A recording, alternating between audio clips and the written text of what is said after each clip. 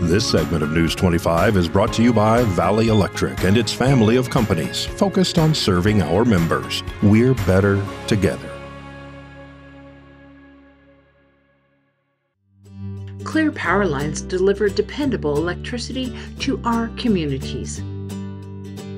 Rights of way, which are the paths that the power lines take, often go through wooded areas and areas with other vegetation. Keeping those clear is vital to improve the reliability for our cooperative's members. Cooperative employees work hard to keep lines clear for all consumers in both public and private spaces.